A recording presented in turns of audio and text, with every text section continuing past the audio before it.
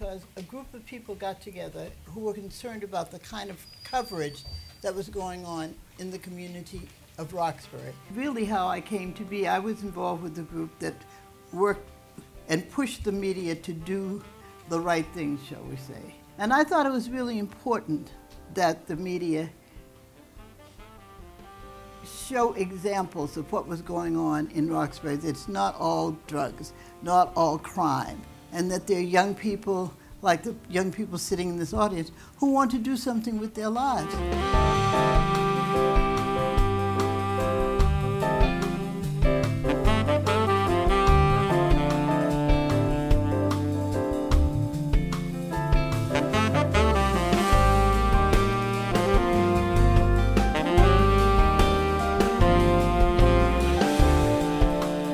I feel like this is my first Unsung Hero um, conference, is it called? Event? Event.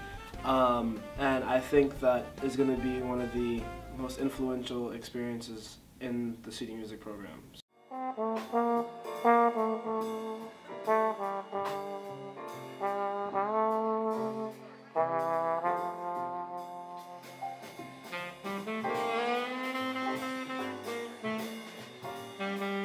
You really want to make a, an impact when you're out in the public.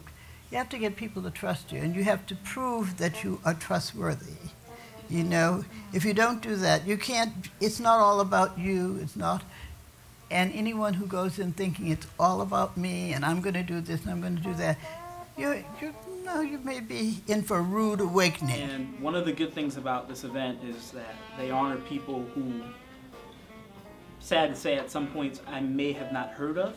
And I think that's part of the unsung thing that, you know, they're obviously doing great works in certain communities or in different places and have impacted a lot of people over a certain amount of time, maybe for a lifetime, you know, but you may or may not have heard about them.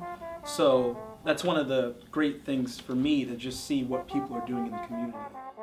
what I love about her and what I feel like I get from her is that you excel more in your career when you're able to use the things that you learn in your career for your everyday life. She And I always wanted to be a drummer, and I always wanted to uh, get taught by like the world renowned musicians. And um, when I got the full tuition scholarship, my mom and my dad were like excited. They were thrilled, and it, it they believed in me 100% that this boy is gonna go far. And one day they they wish that like I could inspire younger ones in my hometown in Somerville. They hope that um, from my experience I could help another one, and that's what I'm trying to do, trying to help the youngins.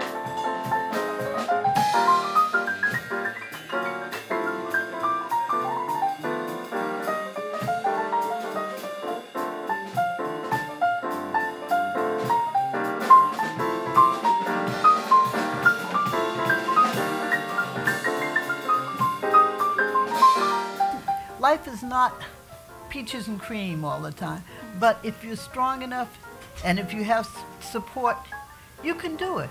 You have to believe in yourself, honey. You have to believe in yourself. You can say, I can do it. I can do it.